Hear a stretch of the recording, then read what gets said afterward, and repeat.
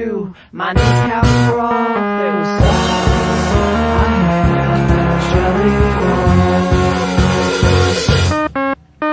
I woke him up, broke the news. After everything was so I said, son, you've got a full-blown case of what is new.